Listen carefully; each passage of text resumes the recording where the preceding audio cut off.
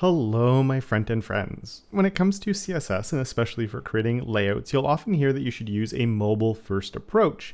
It's just this generally accepted idea of how responsive websites should be made these days. You'll hear just general advice given out basically everywhere. I've even said it myself quite a lot. All of the big frameworks use it, like Bootstrap and Tailwind, and basically all of the other ones. And there's a reason that they use it, and it's a pretty good one. But I'm here to tell you that actually, I think the idea of approaching things in a mobile first way is a little bit flawed and potentially can lead to some overly complicated code. Now, I'm going to start by using this uh, navigation as an example. So I have this navigation that we can see right here, and my face is covering it. So let's get out of the way.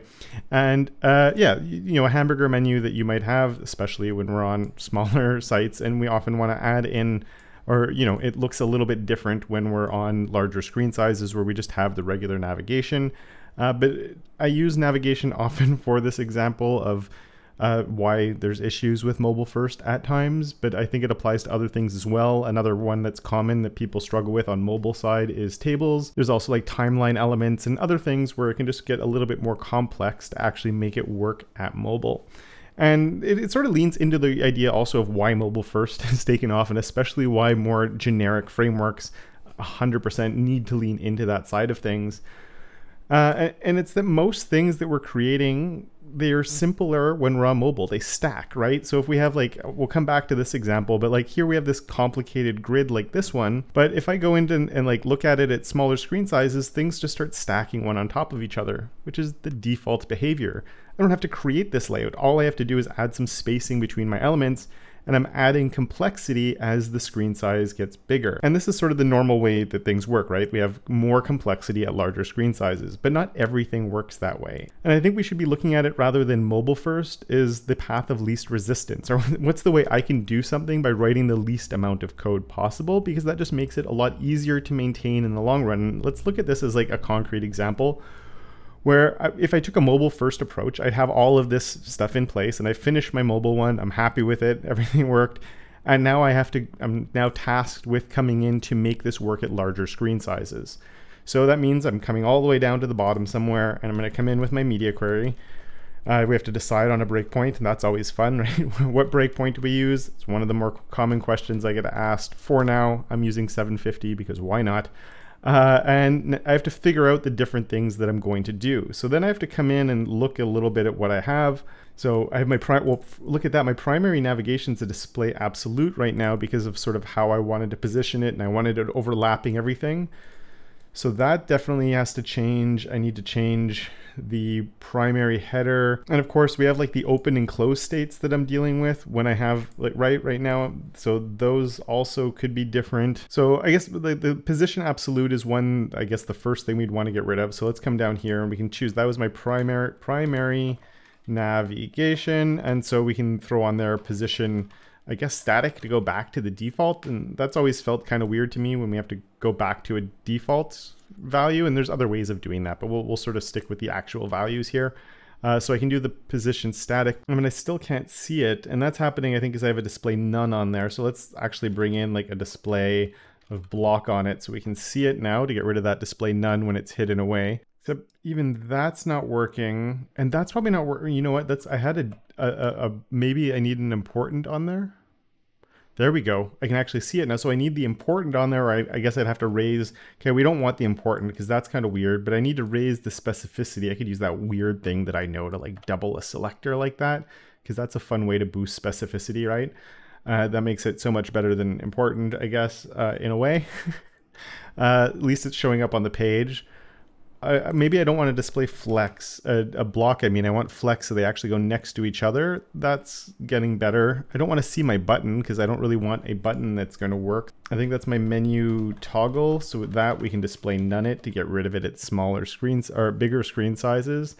Uh, the icons too, I don't need. Those are my site nav icon. Uh, we can get rid of those. Okay, good. Those are gone now, so that's better. Now I need to get rid of that purple background. I think that's coming from here, so we can do a background of transparent. That's kind of weird because we had a transparent background. We added it in there. They have this weird line showing up, and that's because all of my elements except, like when I open this up, all of them have like that little underline on them, so I need to get rid of that next, right? So that would be my... Uh, dot primary navigation li can have a border of zero. And there we go. So that's better. Those are gone. Now we have that weird hover that's coming on the link. So we need to get rid of that. So I guess we can duplicate this and grab those. And once again, the background gets to go back to transparent. And then here the uh, padding, I think, is huge. So we can get rid of that padding that's on there just to make that a little better. And I think you get the idea. We're getting there now. We're, fi we're finally reaching a point that, that works and that looks a little bit better and it, it's you know fitting more with what you'd expect from a navigation. But having to declare a position static and then having a background transparent and having to put borders to zero even though they had no border to begin with doing that again here. These are all things that I'm redeclaring to go back to what the default values were. And to me, that's a nightmare. I hate doing this so much. I feel like I'm wasting so much time. And to be fair, like here's an example where I did it the other way around. And it's not that there's a ton less code and I'm not doing like a between media query, like from this size to that size. But if I just came in and I say my primary navigation and I'm setting this all up for larger screen sizes, it's all there, it's all working, everything's fine. I, I set my hover styles, I get everything working the way I want in the simple form, not at the small screen size form, at just the simplest way it's going to appear on the screen right? So I'm trying to do like the least amount of styling. There is this one thing that's a little bit annoying because I don't want those icons here. But then I can come in with my media query and I can add that complexity in. So now I'm, you know, mucking around a little bit with some of those things that I did set but then I'm adding positioning, I'm adding the top and the right, I'm adding a background color, I'm adding my transitions to my clip paths, and I'm adding the animations in and my borders are coming in that I don't have to like reset on something. And then I'm adding padding in on elements that didn't have padding. So it's less about overwriting stuff and it's just adding extra code in within that media query to say, I only want these to apply at the certain screen size. And you could take this that next step further and you could definitely say, you know, I'm going to put in, I don't want to bother with something necessarily uh, like this. So maybe you end up having another way of writing it where you're you're using the ranges more, right? So like between this size and this size and between this size and that size. But I find doing that, it at one point you get diminishing returns on the complexity of your code. And again, it's not to say that mobile first isn't the right approach. It's just like mobile first tends to be the approach where you write the least amount of code because you're adding complexity to most of the elements on your screen. But you're not going to be doing that for everything within your layout. And the other thing that I sort of want to mention here while we're talking about this is do you even need the media query? so let's just let's take all of this complexity out. This is a lot of code, right? There's a lot going on here. Maybe there's a few things I could have done a little bit simpler, but you know, let's take all of that out. And now we just have this navigation that, oh no, it, it's overflowing. That that looks kind of ugly. I don't really like that.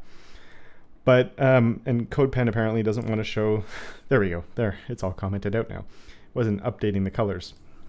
Maybe I delete the side icon. I don't even have one in there. Uh, and then where I have this display flex, I just say that we have a flex wrap of wrap. And it probably won't be perfect in this layout just because we have the logo on the other side. But like if I run out of room, and you can see it's kind of ugly at the moment, but like if I run out of room, uh, is that really the worst possible thing that could happen? And even if I came here and let's just add a gap of like 3 rem or 4 rem. uh, and then like as this breaks, and then we just get my navigation like wrapping. Um, maybe you don't want this like this in this one situation because it's taking up a ton of screen real estate and on mobile that's a problem. And with the logo being here, um, it's not really great either. Flex wrap of wrap on this just to show that like there are ways that we could like, you know, this the whole thing wraps underneath and then as we run out of room like is is this really the worst thing in the world uh, maybe you think it is. And I mean, you could definitely reduce the spacing on this so we're not taking up so much space.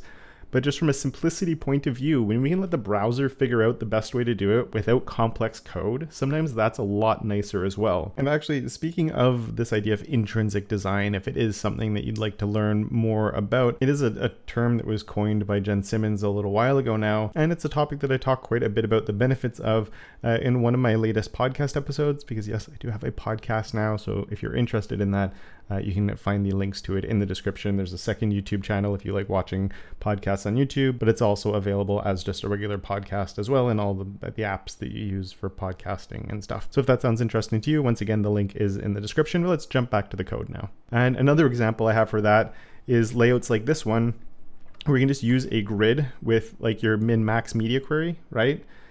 And I don't have any media queries for something like this. And it just works and everything just flows and it stacks where it needs to stack. And, you know, it's super nice. And I'm not stressed about this should happen at this breakpoint and this should happen at this breakpoint. And if you saw my tutorial on this, you knew I looked at container queries. So we did add some complexity to this as well. But it's it's about you know when we can lean into the browser i think it's a really good idea to lean into the browser and let the browser decide on how to handle things like that. So like here's the code for this part right? And really the only thing that's important here for like getting that grid to work is this one line. We have a display this isn't actually doing anything but we have the display of grid we have a gap and then we have the columns on there right? If i have that th these three things on there then and this was just more stuff that I was covering in the demo but if this is all we have in there and even let's let's turn these off just to show you that it's still going to work uh, and everything right everything is still there it's still working and it works really well.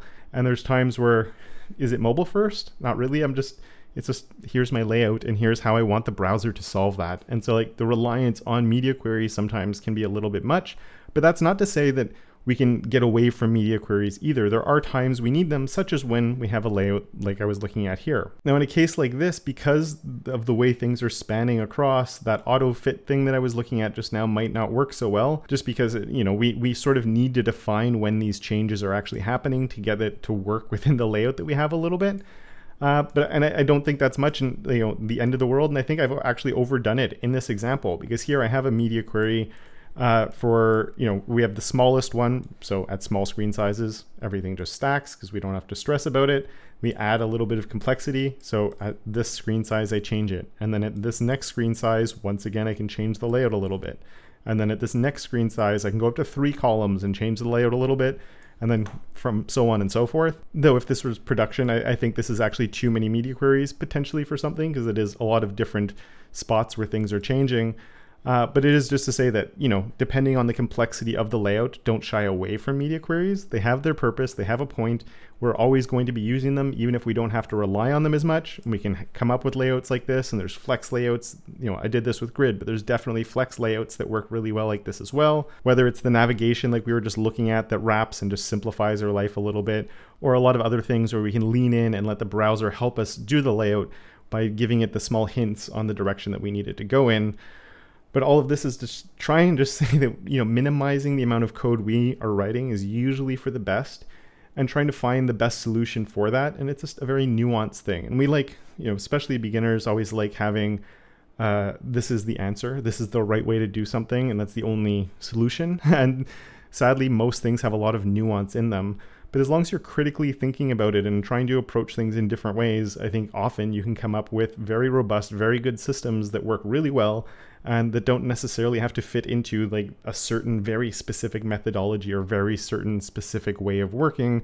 And it might be for the better uh, as long as you can have a good reason that you're doing it like the navigation that i looked at where that if you do need that hamburger menu i really do think that doing it with a max-width media query makes a heck of a lot more sense. Now if you'd like to see more on that like auto fit repeat syntax thing as well as a few other Flexbox and grid-based layouts that are intrinsic and work without media queries. I have covered five of them in this video that is right here for your viewing pleasure. And with that, I would like to thank my enablers of awesome, Web on Demand, Andrew, Michael, Simon, Tim, and Johnny, as well as all my other patrons for their monthly support. And of course, until next time, don't forget to make your corner of the internet just a little bit more awesome.